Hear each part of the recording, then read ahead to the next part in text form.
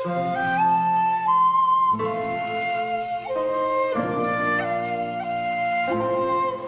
friends health city channel में आपका स्वागत है। फ्रेंड्स आज मैं आपको चूने के बारे में बताने जा रही हूँ। आपने सबने सुना ही होगा कि चूना कई बीमारियों में लाभ करता है। चूना खाना चाहिए, किसी सुना होगा या किसी वीडियो में देखा होगा। लेकिन इसका यूज़ करने में सभी हिचकिचाते हैं, पता नहीं होता या कई लोग यूज़ भी करते हैं, उनको फ़ायदा नहीं होता। तो मैं आज उसी के बारे में बताऊँगी कि कैसे आपको यूज़ करना है। कई वीडियो में आपने देखा होगा कि लोग बताते हैं कि ये सत्तर बीमारियों में फ़ायदेमंद है। तो सत्तर बीमारियों में फ़ायदेमंद है, लेकिन इसके लेने के ढंग तरीके अलग अलग होते हैं। ये बच्चों को भी दिया जा सकता है, लेकिन लेने का तरीका क्या है? कैसे हम बच्चों को दे सकते हैं? क्योंकि अगर चूना आपने गलत तरीके से लिया तो इसके नुकसान भी बहुत ज़्यादा हो सकते हैं। तो मैं आज आपको बताऊँगी कि किसको चूना कैसे लेना है। और वीडियो की लास्ट में आपको ये बताऊँगी कि अगर आपको अच्छा चूना कहीं से नहीं मिल रहा है तो आप घर पे चूने को लाके कैसे शुद्ध कर सकते हैं और फिर उसको ले सकते हैं।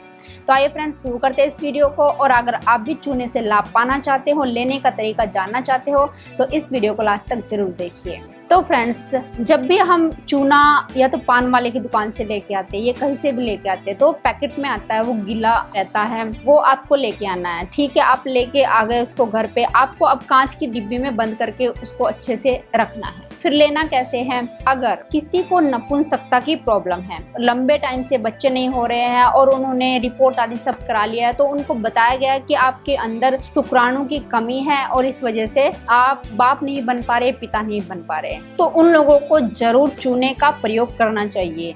आप प्रयोग कैसे करना है? एक गिलास आपको गन्ने का जूस लेना है और उसमें एक गेहूँ का दाना जितना होता है, सिर्फ़ उतना चूना आपको मिलाना है अच्छे से और उसको खाली पेट पीना है। ये आपको रोज करना है और जल्दी ही आपको बहुत ज़्यादा फ़ायदा हो जाएगा। फिर फ्रेंड हमारे बच्चे होते हैं, छोटे बच्चे होते हैं, उनमें कैल्शियम की कमी हो जाती है क्योंकि चूना कैल्शियम का बहुत बड़ा स्रोत होता है। कुछ बच्चे धीरे धीरे बढ़ते हैं, उनकी लंबाई बहुत ज़्यादा देर से बढ़ती है।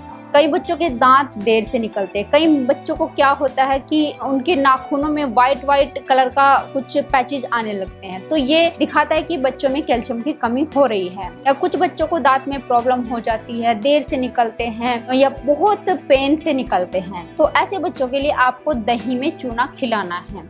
और ये हमेशा याद रखें कि चूने की मात्रा कभी भी आपको ज़्यादा नहीं रखनी है। जो बहुत ज़्यादा छोटे बच्चे होते हैं, जैसे कि छः महीने के या एक साल के तो उन बच्चों को बड़ी निगरानी से जो चूने का सिर्फ़ पानी होता है, आपने एक चम्मच में चूना घोल लिया और उसका इतना सा पानी बच्चों को देना होता है। तो इसलिए अगर आपको इतनी जानकारी नहीं है या फिर बच्चों को कोई दिक्कत हो रही है तो उन बच्चों को आप ना दें। ये उन बच्चों को देना है जिनके दांत निकल रहे हैं या पढ़ने वाले बच्चे होते हैं जिनमें बुद्धि की कमी होती है। उन बच्चों को भी अवश्य दे सकते हैं। आप दही में दे सकते हैं, दाल में दे सकते हैं और पानी में मिला के भी दे सकते हैं।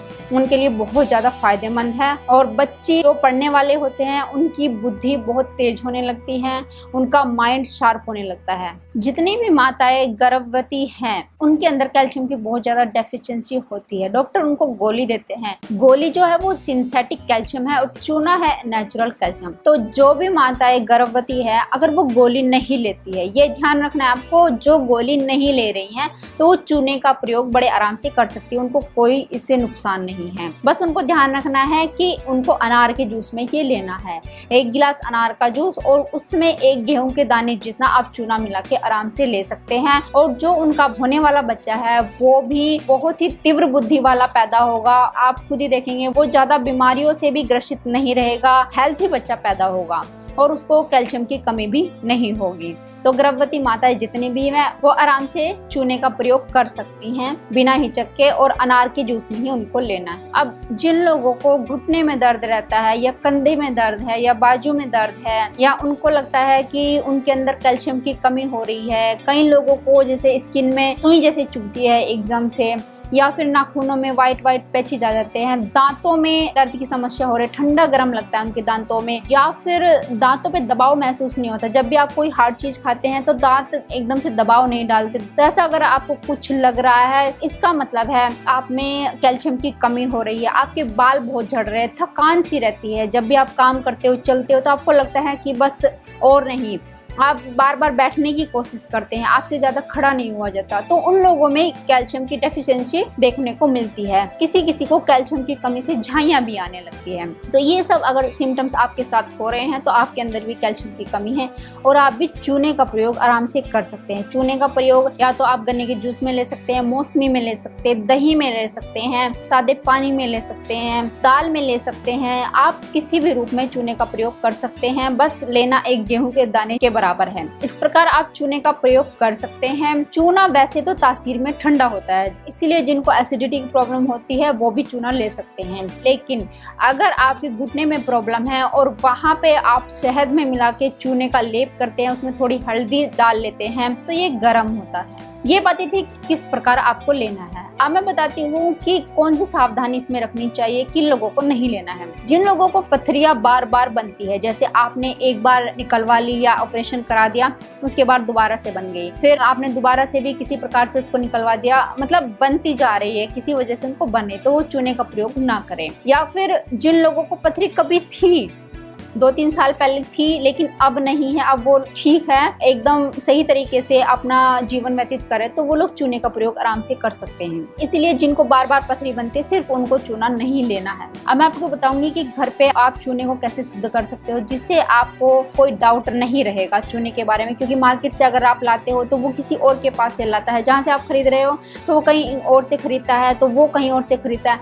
इसका मतलब क्या है कि पता नहीं कितने दिनों का पुराना चूना होता है। अगर आप चाहते हैं कि एकदम शुद्ध रूप से आपको मिले और ज़्यादा पुराना भी ना हो तो इसके लिए आपको क्या करना है? जो भी चूना हम दीवारों को पेंट के लिए लाते हैं, जो कि पाउडर रूप में होता है, वही चूना आपको लाना है। वो लेकर आइए, दस ग्राम आपको चूना लेना है। वो जो पाउडर और दलियों के फॉर्म में होता है, वो आपको लेना है दस ग्राम। एक लीटर पानी में उस चूने को डालना है, लेकिन बर्तन जिसमें आप डालेंगे वो मिट्टी का हो।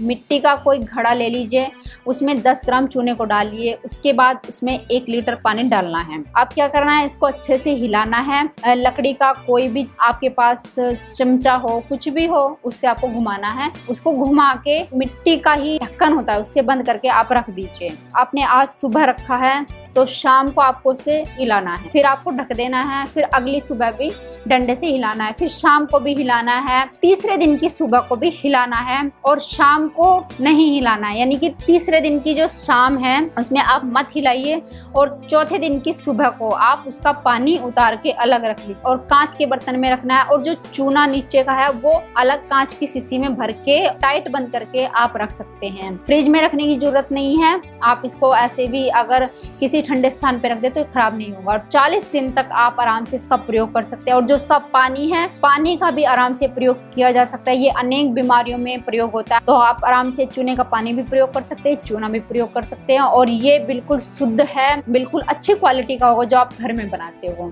और 40 दिन तक आराम से इसका प्रयोग कर सकते हो। आज इतना ही। कुछ अगर आपकी क्वेरीज हो तो कमेंट बॉक्स में कमेंट करके पूछ सकते हैं और मेरे चैनल को सब्सक्राइब ज़रूर कर देना लाइक भी कर देना। तो फिर मिलती हूँ अगली वीडियो में। तब तक के लिए गुड बाय